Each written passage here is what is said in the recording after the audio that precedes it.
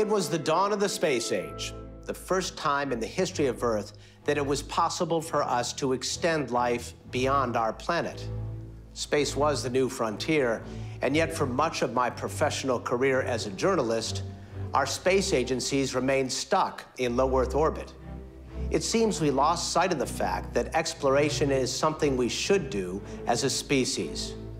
When we finally commenced on that bold interplanetary journey, it was the grandest mission of exploration ever undertaken and the highlight of my career.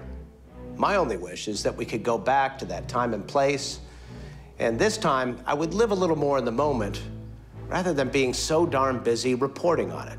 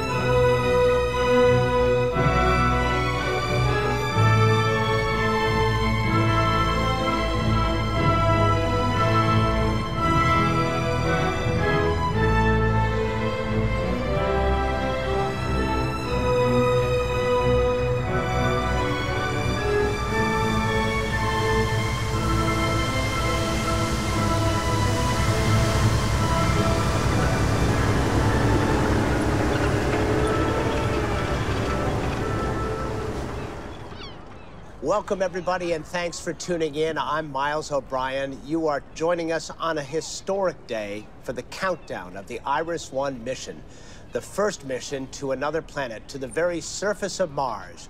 Joining me here is Rick Armstrong, the eldest son of Neil Armstrong, who, of course, in 1969 became the first human to put footprints on the moon. Rick, you were 12 years old at the time of that launch. Do you remember being scared? No, I really wasn't, Miles. Uh, I think partly because I was young enough to not fully understand the complexity of what they were uh, going to do. And also, I felt like anything that went wrong, they'd figure it out. Spoken like your father, for sure. That successful moonshot was one for the ages.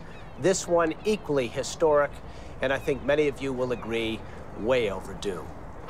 Launch control is telling us now that things are proceeding very smoothly with the fueling and they're topping off the liquid oxygen in the S-1C, the main stage of the mighty SLS rocket. All going very smoothly at T minus 40 minutes. All flight controllers, listen up. There's something I want to tell you. From the day that we were born, we were destined to be together in this room today. We are attempting to expand the horizon of humanity and take a profound step in the evolution of the human race. No journey in history was more hazardous or more difficult to accomplish. we will sail uncharted waters. Now, the safety and the success of this mission will rest on our shoulders. But I have absolute confidence in everyone in this room. And I want you to know something. Whatever happens to us during the next 1,000 days, I will stand behind every decision that you make, however it goes. When we walk out of this room, we walk out of here as a team. Flight controllers, give me a go, no go for launch. GNC, Go. guidance, We are go. trajectory, We are go flight. rendezvous, Go. FIDO, Go flight. BME, Go flight. surgeon, We're go. booster, Go. EECOM, Go. Capcom. We're go flight. Go across the board. Launch control, this is Houston. We are go for launch. Commander Robert McGee is joined by pilots Amy Flores and Otto Hoffman, flight engineer Anatoly Nikolaev, astrobiologist Daisy Evans, and geologist Hana Takahashi. We're ready to fly. These men and women are about to become mankind's first interplanetary travelers. Houston Iris 1. We're go. Let's light this candle. Godspeed to y'all, Iris One. Iris 1, this is Kennedy Launch Control. All crew members close and lock your visors. T minus 40 seconds and counting. We are transferring to the capsule's internal power at this time.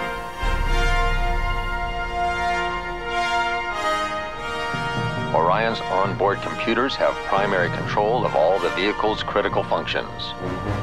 Coming up on a go for auto sequence start. We have a go for auto sequence start. T minus 17 seconds and counting. 15, 14, 13, 12, 11, 10, 9, 8, 7, 6. Main engine start. 4, 3, 2, 1. Booster ignition and lift off. Clear the tower. Houston is now controlling. Their way, the Iris 1 International crew, to the surface of Mars. The SLS-4 liquid fuel main engines now throttled back to 67% of rated performance, reducing the stress on the vehicle as it breaks through the sound barrier. Everything looking good on the bird. This is Mission Control Houston. We appear to have a good first stage at this point. Iris 1, Houston, you're go and throttle up. Roger. Go and throttle up. I've got a pitch and roll program, and this baby Standing by for solid rocket booster separation.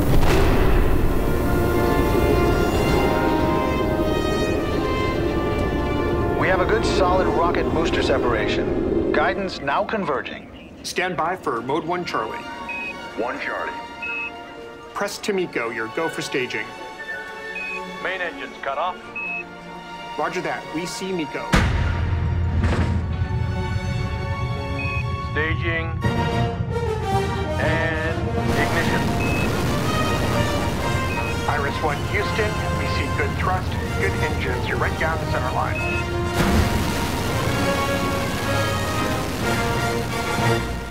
Wow, the noise we just heard is one of the loudest man made sounds on Earth. Not only that, you feel it rumble through your body in a way that nothing else I know of does. And words just can't describe it. Free drift? Pilot Amy Flores is now performing the docking maneuver with the Mars Transfer Vehicle, or MTV. This will be the crew's home between Earth and Mars. For the next several weeks, the crew will remain in low Earth orbit, doing some home improvement, if you will.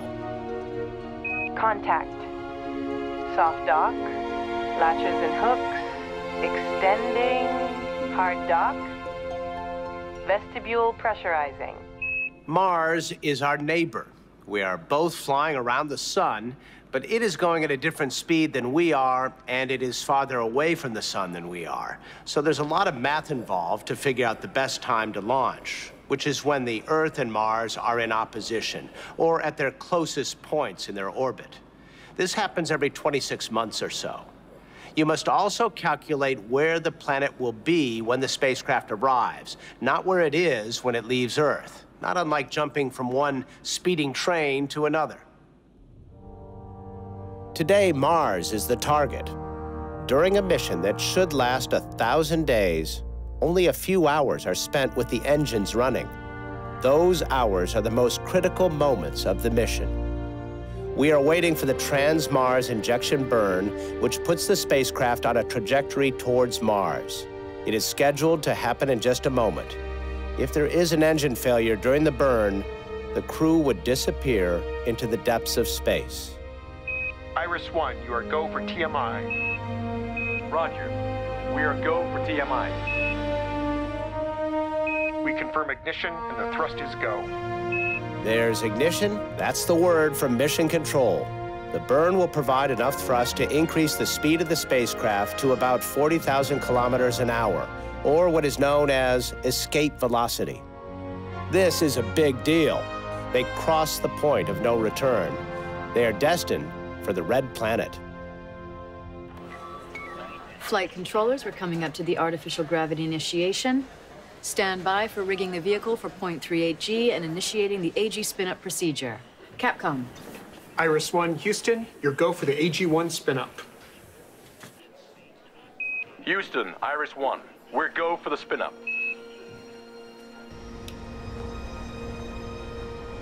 Spin up for artificial gravity has been initiated.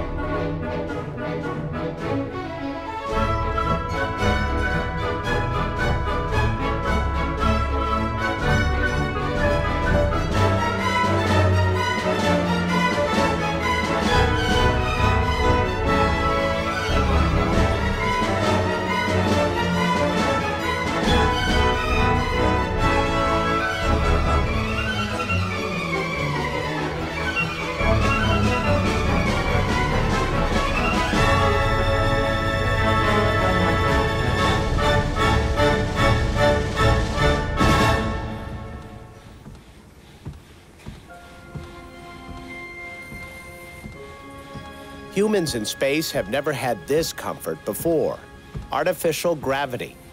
Due to the centripetal force of the spinning spacecraft, the crew will be able to live with their feet planted firmly on the floor for their seven month transit. This will alleviate the adverse health effects of prolonged weightlessness. The artificial gravity generated is similar to Mars gravity, which is 38% of that on Earth. The crew will also start to adjust to Mars time, Instead of a 24-hour Earth day, they will adapt to Mars sols, which are 37 minutes longer than Earth days. So during their seven-month coast to Mars, the crew has plenty of time to acclimate to the new planet.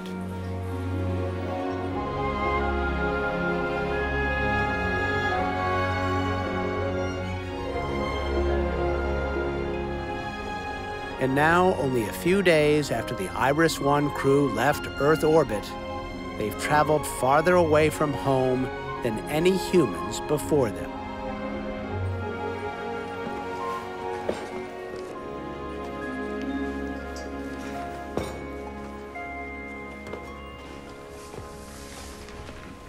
Hey, Daisy. Oh, hi, Robert. The hydroponics growth looks amazing. It's great, isn't it? 0.38G is so much better than 0G. The plants just love it. What's the necklace? Oh, it's the British Beagle 2 lander. Really? when I was eight years old, it was Christmas Eve, and my parents let me stay up late to watch the British Beagle 2 probe Mars landing on TV. Mm. I waited up all night. I was desperate. I was desperate to see those first pictures from the surface. They never came. Beagle 2 never contacted Earth. I woke up on Christmas Day, crushed. But I knew from that day forward, one day I wanted to walk on that surface myself. Good for you. You've come a long way. Yeah. Yeah, now my son, James, is the same age. In the end, boarding this ship became the hardest decision of my life. Still so many miles to go.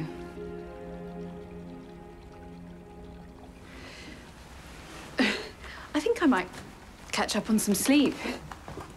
Still not used to the length of Sol. You know, those extra 37 minutes are killing. Good idea. See you, Soloro.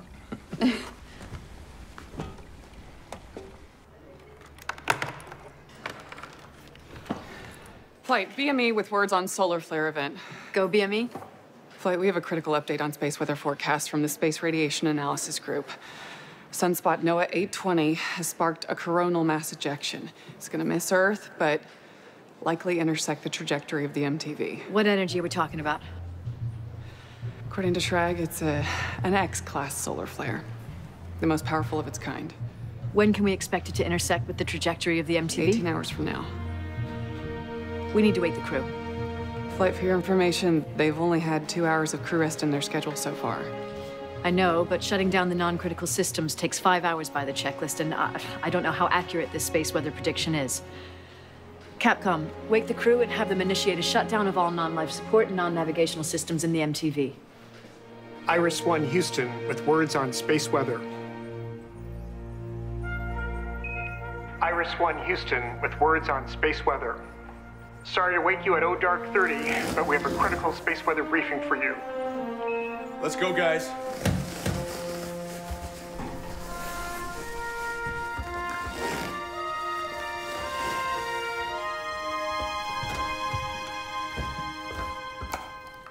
Houston, go ahead.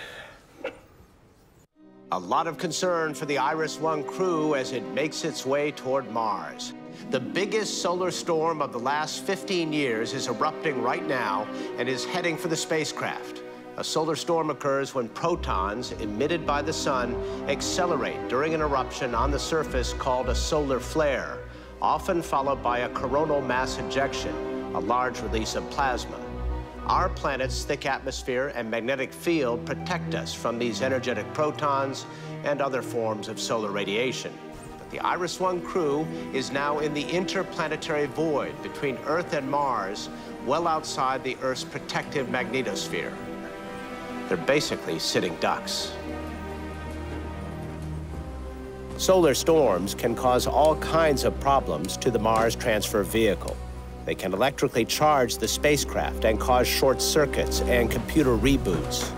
Worst of all, they can penetrate the skin of our astronauts and do damage to their cells and tissue, leading to radiation poisoning.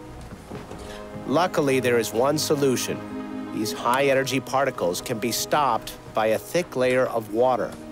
All the crew can do now is to cluster around a water source while they ride out the storm. The leading edge of the CME should be intersecting our path in T-minus 30 minutes. Where are we at? We have almost finished building our deep space radiation storm shelter.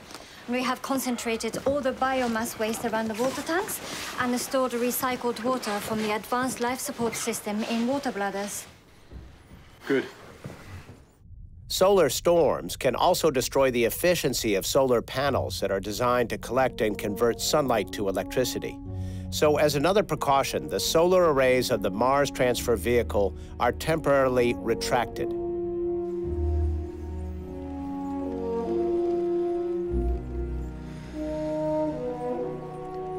What are you reading? Tales from 1001 Nights. It's the classic story of using your own initiative, of being inventive to survive until the next day, when it starts all over again. Tomorrow's never a given, and there's nothing around you to aid your survival. You have to think on your feet. Just what we need 1001 nights of postponing our execution. I encourage you to keep reading those tales every night for the duration of our mission. How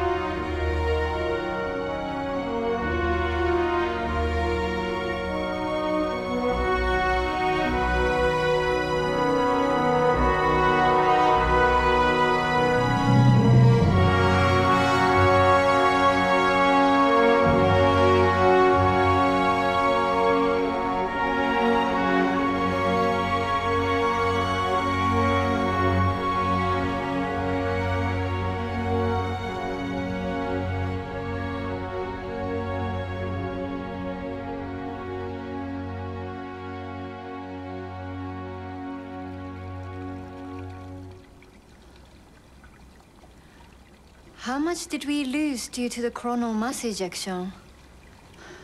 I estimate a loss of about 59%. It was lucky I had time to dehydrate and freeze dry some of the crops to supplement our diet. We'll be fine. That was a good call. Yeah. Seven months into their long voyage, the Iris One crew is about to do something irreversible. They will perform another critical engine burn, the Mars orbit insertion. The goal is to end up in orbit around the red planet. But if the burn is not successful, they will swing by Mars and disappear into the void.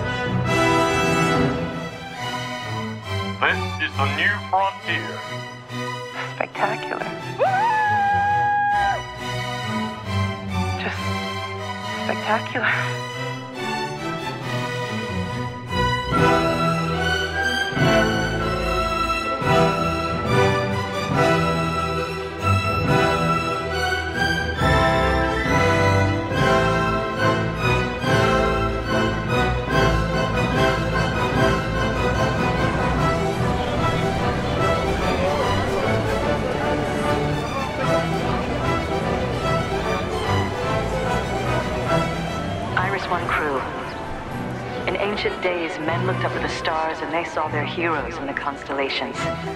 Today, Mother Earth dared to send six of her sons and daughters into the unknown. You are our warriors up there now. Now go explore. And when you're done, please, find your way back home.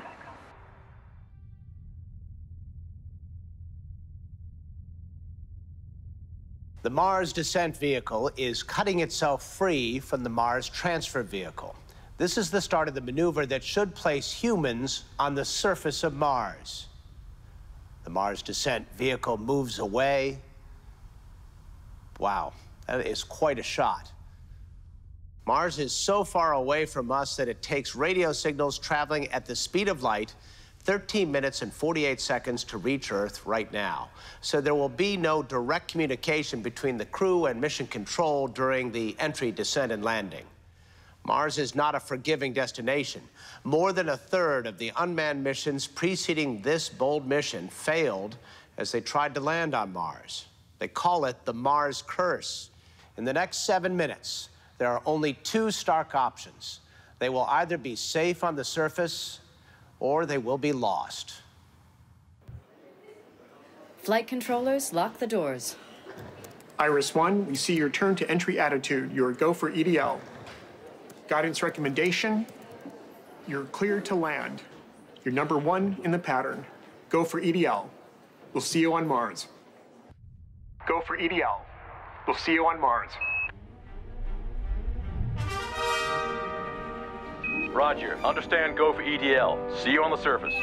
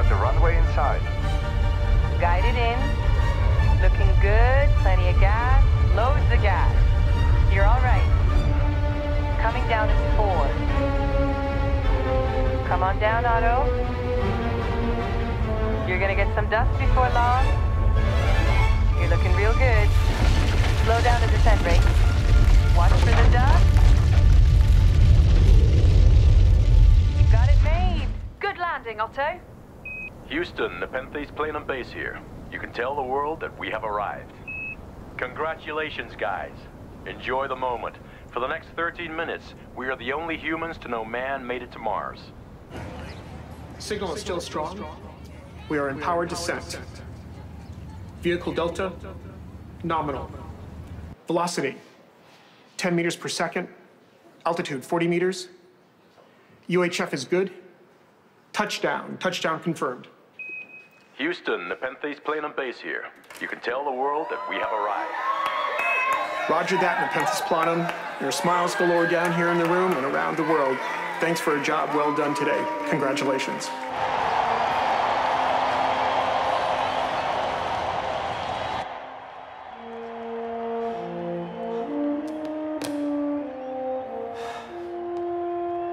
I never thought I'd live to see this day. Okay. Okay, okay, all you guys, settle down. Come on, keep the chatter down in this room. Keep your eye on the darn bird. This ain't over with. Come on, keep your eye on it. Okay, all flight controllers, we have 45 seconds to T1, decide on stay or no stay.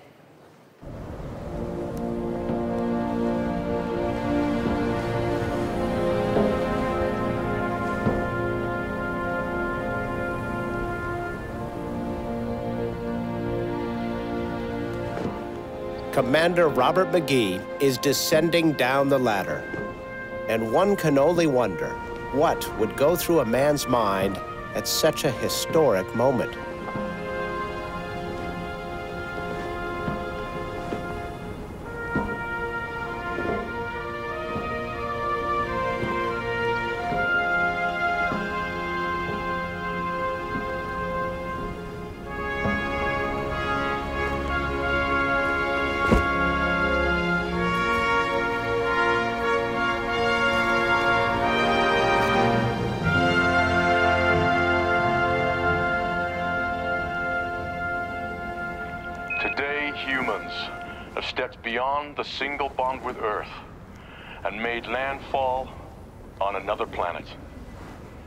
On behalf of all the people back on Earth, the Iris One crew is taking their first baby steps toward a future among the stars.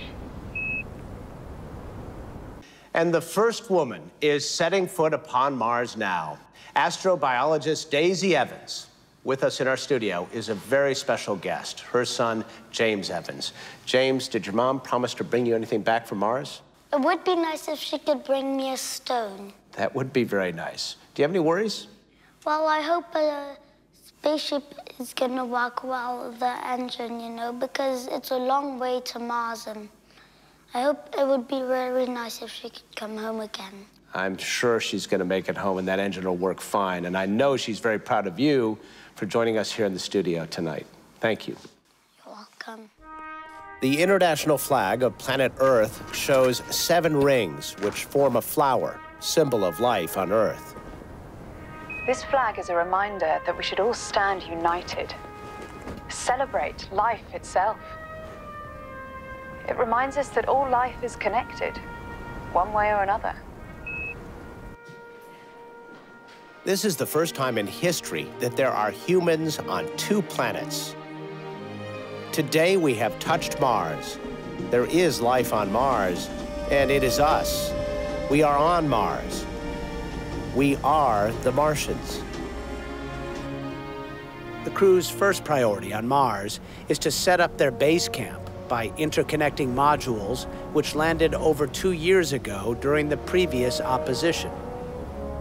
Pilot Otto Hoffman is busy deploying a weather station on the roof of the habitation module. The average temperature here is minus 60 degrees Celsius.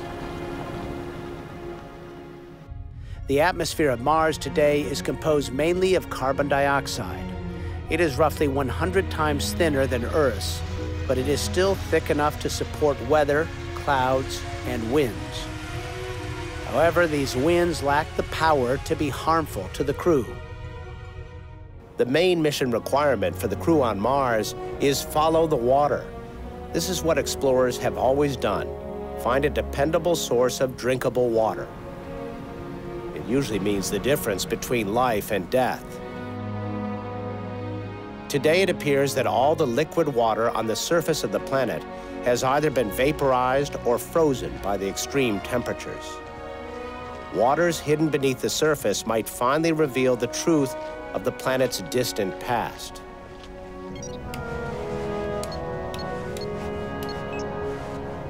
Amy, what's the fuel cell status? The three fuel cell purge heaters have been manually activated. We're ready to go. Hey, Otto, what's today's weather forecast? The weather forecast is the same as Sol and Solaro. Clear and sunny and freezing cold.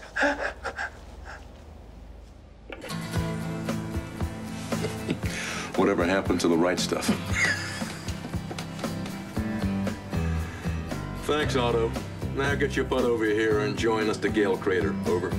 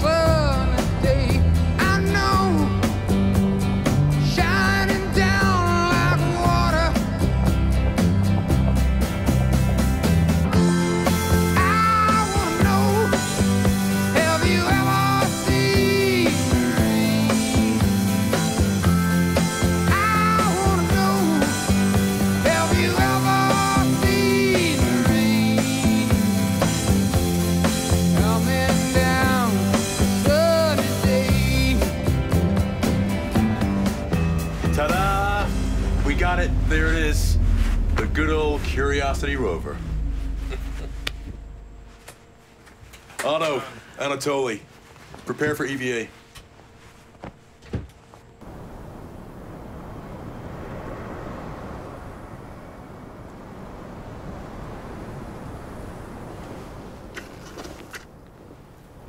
I remember this rover very well.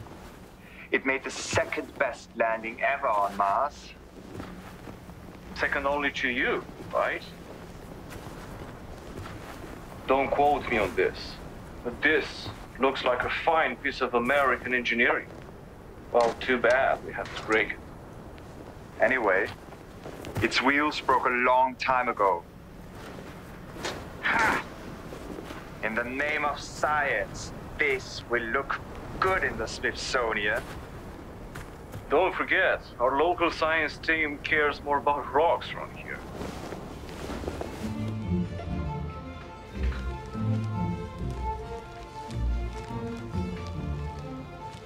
Daisy, Hannah, here are the new rock samples from the foothill of Mount Sharp in the Gale crater. It was quite a journey. Brilliant.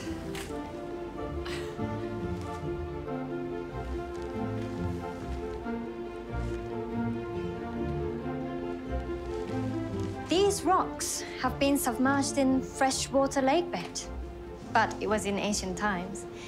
This whole planet is drier than driest desert on Earth. It hasn't been a single drop of rain for millions of billions of years. And yet, these rocks hint to a wet past.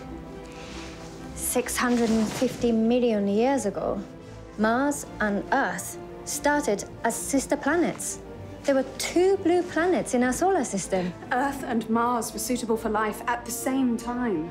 I've always found that staggering. And as soon as Earth was habitable, life was there. It's the freakiest show. Is there life on Mars? Well, the first question is was there life on Mars? That's why we're looking for traces of microfossils and biomarkers in these rocks. And we're monitoring the atmosphere for methane. Most of the methane on Earth was generated by microbes. So there's a good chance that the same process was or is happening on Mars. Right now, we are measuring that the methane levels in the atmosphere of Mars change with the seasons, and nobody knows why. But the most exciting possibility is its biological activity, because you'd expect life to be seasonal. But there could be other explanations. Speaking of methane, I think I'm gonna go check the methane levels in our rocket engines for our trip back. Sounds like a plan. This is pilot Amy Flores, blog Sol 11. For our 500 plus day stay on Mars, we're gonna have to generate a lot of power. Anatoly, can you tell us about the FSPS? Sure. This is Fission Surface Power System, basically our nuclear power plant on Mars. I'm repositioning it out of our line of sight behind those rocks over there. Not that it is not a pretty machine, but we like to keep our distance to this nuke. We don't want to uh, end up glowing in the dark towards the end of our mission. Thank you, Anatoly, for always being so eloquent. Sure. And this is our ride home. The Mars Ascent Vehicle, or MAV. Hey, Otto, can you tell us what you're doing over there? Sure. Like all true pioneers, in order to survive on Mars, we have to live off the land. I am checking a chemical reactor inside our Mars Ascent vehicle. It takes carbon dioxide from the Martian atmosphere and combines it with hydrogen, which we brought from Earth. It produces water and methane. The methane we use as rocket fuel for our way home. And we like to drink the water, but also derive oxygen from it so we can continue to breathe. So I think right now, we can all agree that I am doing the most important job on the entire planet. Okay, Otto, if you say so. Just don't break anything on our precious ship. Cause she read it ten times on Mars.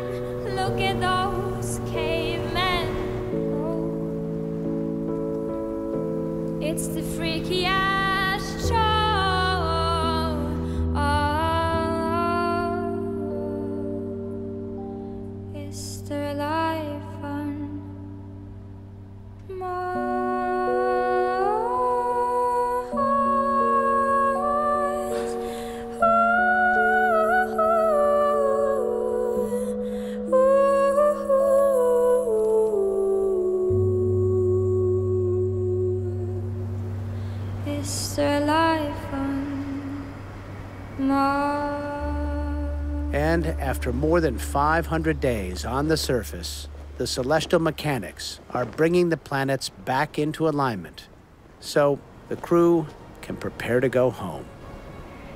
15 sols to go. I miss feeling the wind in my face. I miss jumping into the ocean. I miss cherry blossom parties with friends and, of course, Japanese food. Of course. But most of all, I miss James. I can't believe we've been separated for the last two years. And I've still got one more Christmas to go without him.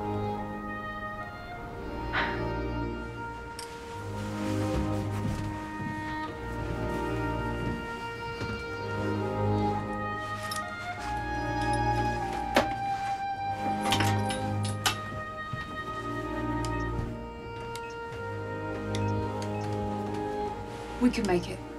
What's that? We can make it to the Beagle 2 landing site. It's about the same distance as it was to the Curiosity rover. It's not a mission requirement. Okay, look. It's Christmas Eve. And tomorrow is an official crew rest day. This won't be another Skylab 4 mutiny. You've got the controls.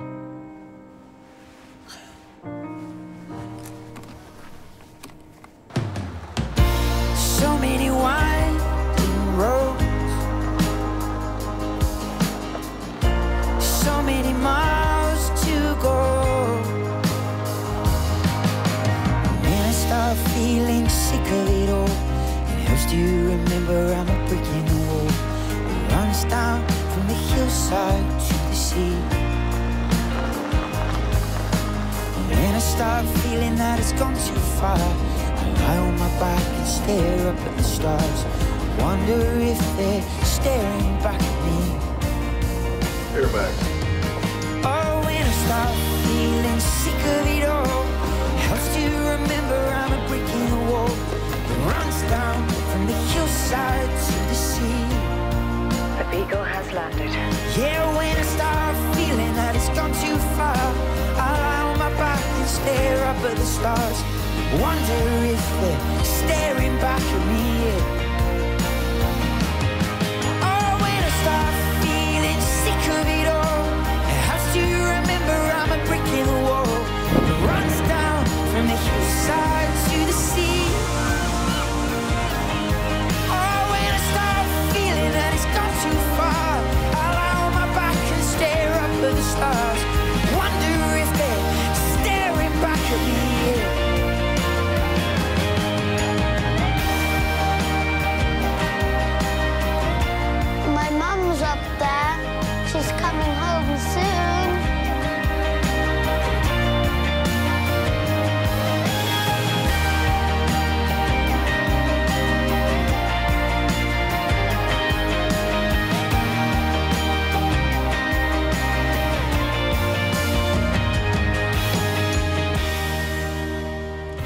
Latches and hooks.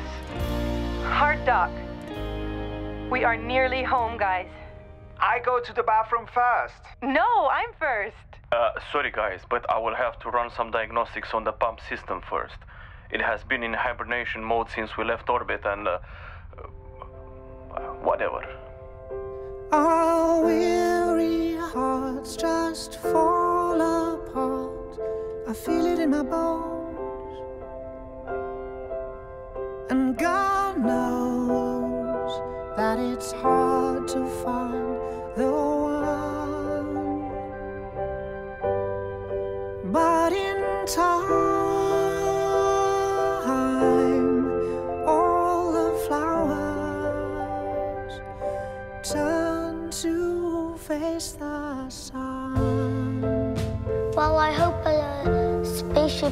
gonna work well with the engine, you know, because it's a long way to Mars.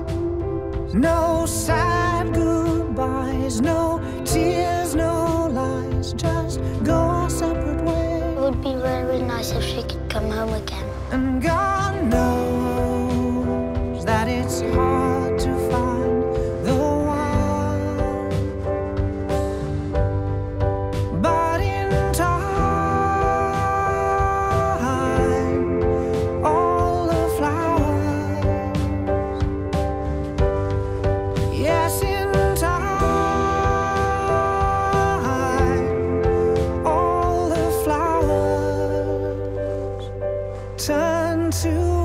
chase the sun.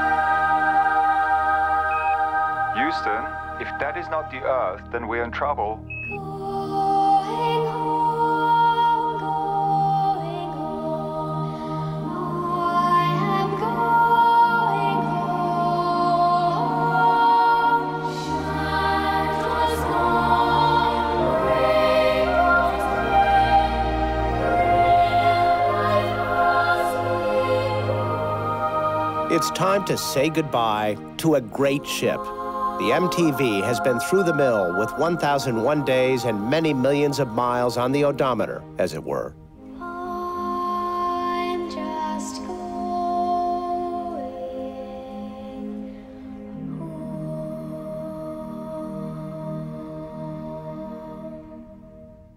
Standing by for entry interface.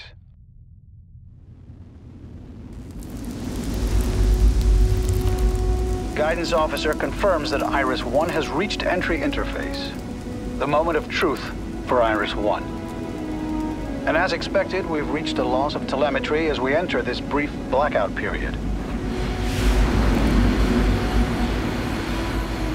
This is the point in time where the Orion capsule would be experiencing its peak heating of some 3,000 degrees Celsius as it barrels through the Earth's atmosphere. That peak heating period is a particularly perilous phase of the mission. As the capsule enters the atmosphere, hot gases form around it. It creates a plasma, which makes it impossible for radio communications to go to or from. So the crew is on its own, hurtling toward the Pacific Ocean, the USS Anchorage and its crew standing by, ready to receive them. All we can do is watch and wait and hold our breath. 30 seconds till end of blackout. We are standing by for AOS. Iris 1, Houston. Iris 1 on Space to Ground 1. This is Houston. How do you read? Houston, Iris 1. We read you loud and clear. Flight Dynamics Officer reports that we are tracking right down the middle. Iris 1 has gone subsonic. Standing by for a forward bay cover jettison.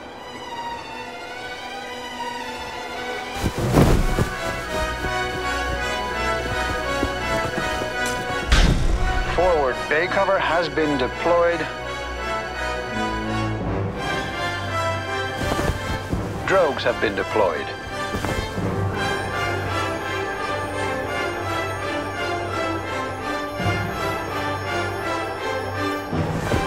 Drogues away.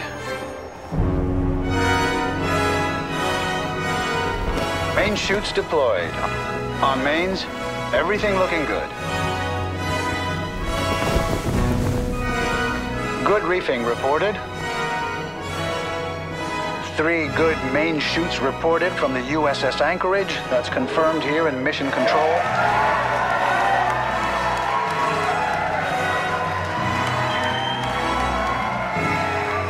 From a high speed rate of 40,000 kilometers an hour to a gentle return back to Earth.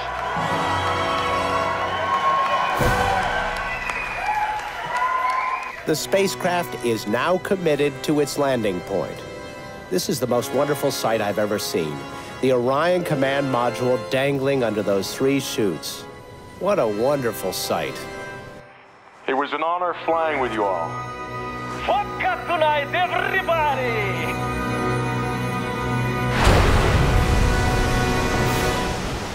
It's one heck of a good flying machine, but a lousy boat. We're happy to be back home. We've got 1,001 days on the clock. The Iris 1 crew is signing off. Men and women landed on Mars and returned safely to Earth. An impossible dream has come true. The risks were tremendous, which makes the success even sweeter. Humans have proven that we are no longer an earthbound species and that we have it in us to become multiplanetary. Once again, joining us is Rick Armstrong. Rick, if your father were alive today, what do you think he would say? Well, I was never very good at predicting that, uh, but I do feel fairly safe in saying that he would want to acknowledge and congratulate everyone that was dedicated to the success of this mission.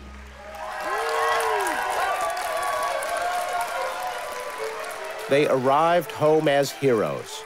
the first to stretch the limit of man's expansion from one planet to another. Their names added to the lists of great explorers of new worlds. It was indescribable. If you didn't live through it, you really missed something. But it was real, and it meant so very much to me. And I think it meant so very much to every human being who saw it. It is with great humility that I look back on those days and realize just how great an accomplishment it really was.